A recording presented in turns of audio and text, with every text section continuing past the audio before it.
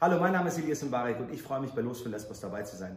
Ihr könnt Gutes tun und damit unter anderem diesen Stuhl gewinnen, den ich während des Drehs zu Facke Goethe 3 ausgiebig genutzt habe. Viel Glück!